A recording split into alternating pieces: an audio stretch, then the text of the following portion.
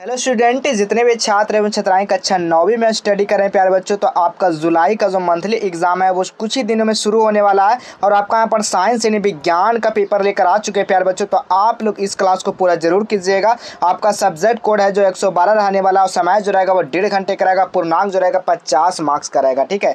जिस तरह से आप लोग जून में भी दिए थे एग्ज़ाम उसी तरह से यहाँ पर जुलाई में भी आपका मासिक परीक्षा का आयोजन किया गया है। तो आप लोग पूरा, आप लोग इस वीडियो को पूरा ज़रूर देखिएगा। आपको यही सब क्वेश्चन आपको परीक्षा में देखने को मिलेगा, प्यारे बच्चों, और आप लोग तैयारी जो है काफ़ी बेहतर कर लीजिए, ठीक है?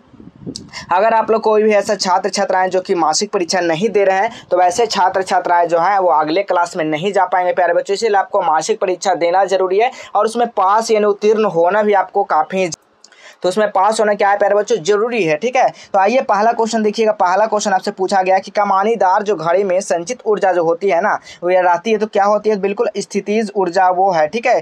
कमानीदार घड़ी में संचित ऊर्जा क्या होती है? स्थितिज ऊर्जा होती है, बिल्कुल याद रखिएगा। ऑप्शन नंबर यहाँ पर ए बिल्कुल राइट आंसर हो जाएगा।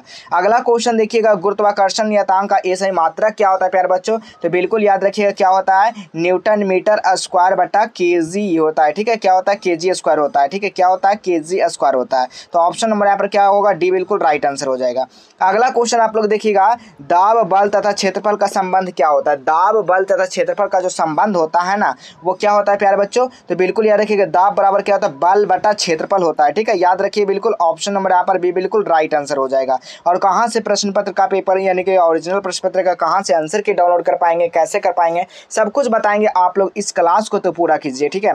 अगला क्वेश्चन देखिएगा, दो कणों के बीच गुरुत्वाकर्षण बल, उनके बीच का दूरी का क्या होता है? तो बिल्कुल उनका बीच का दूरी क्या होता है? गुरुत्वाकर्षण बल का क्या होता है? फॉर्मूला एफ़ बराबर जी जी बटा क्या होता है? एम वन एम टू बटा आर स्क्वायर। तो यही आपका क्या होता है? ये आपका व्युत्कार यानी कि व्युत्कार अनुपाति होता है, यही आर स्क्वायर, ठीक है? तो यही आपका यहाँ पर क्या हो जाएगा? ऑप्शन नंबर यहाँ पर सी बिल्कुल राइट आंसर हो जाएगा। चलिए, अगला क्वेश्चन देखिएगा बाबू। अगला क्वेश्चन क्या कहा जा रहा है? यदि पृथ्वी पर किसी वस्तु का द्रव्यमान छः के जी है तो चंद्रमा पर उसका द्रव्यमान कितना हो जाएगा? तो चंद्रमा पर उसका द्रव्यमान एक के जी हो जाएगा बाबू। बिल्कुल याद रखिए, ऑप्शन नंबर यहाँ पर बी हो जाएगा। अगला क्वेश्चन देखिएगा, गति के किस नियम से बल की माप की जाती है। गति के जो है ना, किस नियम से बल की माप की जाती है बाबू तो सिक्स का जो राइट आंसर हो जाएगा ना, वो तृतीय नियम से किया जाता है। ऑप्शन नंबर यहाँ पर सी बिल्कुल राइट आंसर हो जाएगा, ठीक है? अगला क्वेश्चन देखिए जी बड़ा जी और छोटा जी का संबंध क्या हो जाए? बड़ा जी और छोटा जी में से संबंध हो जाएगा ना, वो आपका क्या होता है? जी बराबर क्या होता है? बड़ा जी एम बटा आर स्क्वायर होता है। यानी ऑप्शन नंबर यहाँ पर क्या होगा? सी बिल्कुल राइट आंसर हो जाएगा। अगला क्वेश्चन देखिए बार प्यारे बच्चों, किसी वस्तु का भार निम्न में से किसी वस्तु का भार, ठीक है, निम्न में से कहाँ अधिक होगा? तो सबसे अधिक जो कहाँ पर होगा? तो ध्रुव पर हो जाएगा प्यारे बच्चों। ऑप्शन नंबर यहाँ पर क्या हो जाएगा? सी बिल्कुल राइट आंसर हो जाएगा। अगला क्वेश्चन आप लोग देखिएगा, संवेग संरक्षण सिद्धांत का उचित उदाहरण है। संवेग संरक्षण के सिद्धांत का उचित जो उदाहरण है ना, वो आपका क्या हो जाएगा? रॉकेट प्रणोदय और सिक्का कार्ड का प्रयोग। ऑप्शन नंबर यहाँ पर सी बिल्कुल राइट आंसर हो जाएगा दोनों के लिए, ठीक है? अगला क्वेश्चन देखिएगा। घनत्व का सीजियस मात्रा क्या होता है? तो घनत्व का सीजियस क्या होता है? ग्राम बटा सेंटीमीटर क्यूब होता है। तो ऑप्शन नंबर यहाँ पर देखिए तो बिल्कुल डी हो जाएगा, ठीक है? याद रखिएगा। अगला क्वेश्चन देखिएगा, अगला क्वेश्चन है सोडियम का परमाणु द्रव्यमान तेईस है और छियालीस ग्राम सोडियम मोलों की संख्या क्या हो जाएगा बाबू? तो बिल्कुल यहाँ पर दो हो जाएगा, ठीक है? कितना हो जाएगा? तेईस, छियालीस, तेईस दोनों छियालीस, यानी कि दो हो जाएगा इसका मौलों की संख्या, ठीक है? अगला क्वेश्चन देखिएगा, अगला क्वेश्चन क्या कहा जा रहा है?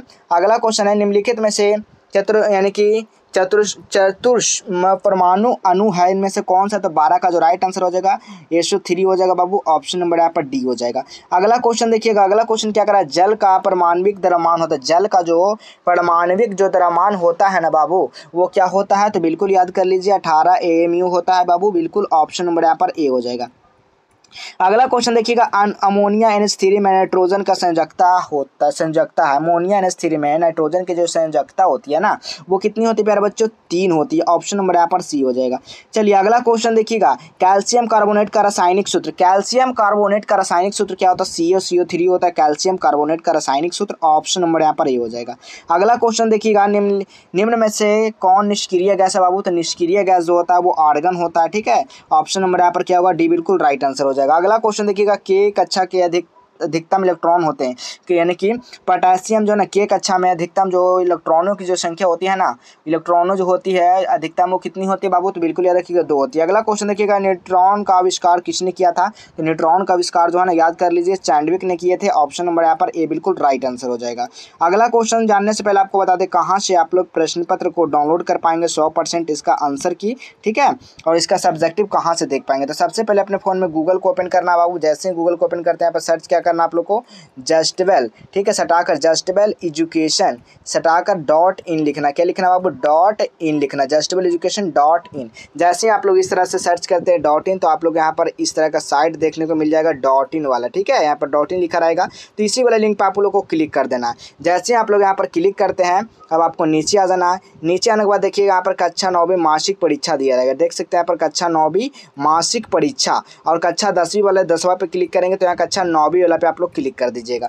जैसे ही कक्षा नौवीं वाला पे क्लिक करिएगा तो यहाँ पर देखिए मई है, आपका जुलाई वाला यहाँ पर अपडेट कर दिया जाएगा, ठीक है? इसी तरह से होगा यहाँ पर जुलाई वाला, जैसे इस पर क्लिक कीजिएगा तो आपको नीचे आ जाना, देखिएगा यहाँ पर सारा सब्जेक्ट यहाँ पर डाउनलोड करने का इसी तरह आपको मिल जाएगा, जो कि यहाँ पर देखिए सभी सब्जेक्ट का है ना? तो सभी सब्जेक्ट का वहाँ पर भी आप लोग को देखने को मिल जाएगा। तो यहाँ से सीधा आप लोग क्या कर सकते हैं, सभी पेपर को बारीकी से डाउनलोड कर सकते हैं, प्यारे बच्चों, ठीक है? हंड्रेड परसेंट यहाँ पर डाउनलोड होगा जी तो आप लोग घबराना बिल्कुल नहीं, आकर सर्च कर कर देखते रहना, कभी भी यहाँ पर अपडेट हो जाएगा ठीक है? चलिए, हम लोग अगला क्वेश्चन की बात करते हैं तो अगला क्वेश्चन की यहाँ पर बात करते हैं, उन्नीस नंबर क्वेश्चन इलेक्ट्रॉन का संकेत बाबू। बताना आपको, जो इलेक्ट्रॉन का जो संकेत होता है ना तो हम लोग ई से इलेक्ट्रॉन को संकेत जानते हैं तो ऑप्शन नंबर यहाँ पर क्या होगा? ए बिल्कुल राइट आंसर हो जाएगा। अगला क्वेश्चन देखिएगा। रदरफोर्ड अल्फ़ा कण प्रकीर्णन का प्रयोग खोज के लिए उत्तरदायी था। कौन उत्तरदायी था बाबू? तो बिल्कुल ये परमाणु केंद्रक था, यानी ऑप्शन नंबर यहाँ पर ए हो जाएगा।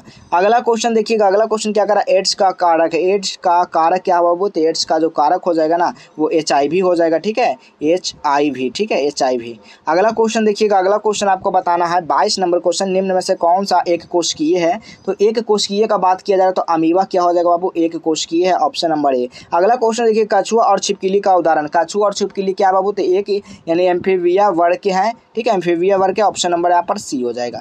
अगला क्वेश्चन आपको बताना है, निम्न में से कौन संवाहनी पौधा है बाबू? तो संवाहनी पौधा का बात किया तो फर्न क्या है? संवाहनी पौधा ऑप्शन नंबर यहाँ पर सी हो जाएगा।